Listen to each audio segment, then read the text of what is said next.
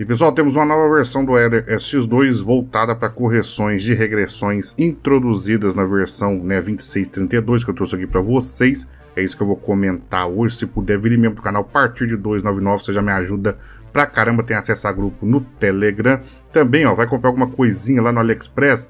Lembre-se, senhor linguista, use meus links na descrição. Você me gera comissão sem gastar nada. E bom, gente, a versão 1.22637, né, a versão hotfix, que categoriza, no caso, correções rápidas, né, para evitar problemas que foram identificados, né, e o maior deles é uma regressão de performance noticiado no jogo Metal Gear Solid 2, né? Se eu não me engano, eu nunca trouxe este game aqui para vocês, mas realmente ele estava perdendo aí metade da performance na versão anterior.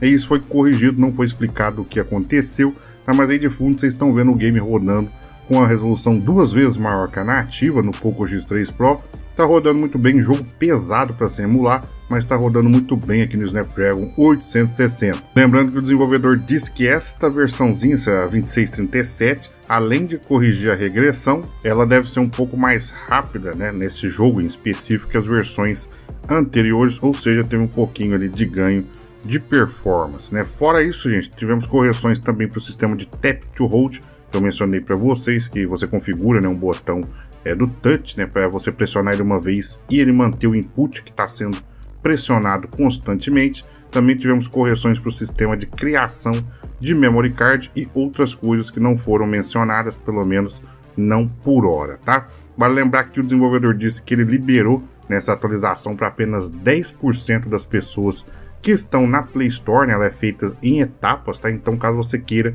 né, imediatamente eu recomendo que você baixe lá no site do Eder, né, para manter sempre atualizado. É isso, gente. Muito obrigado a todos e fui.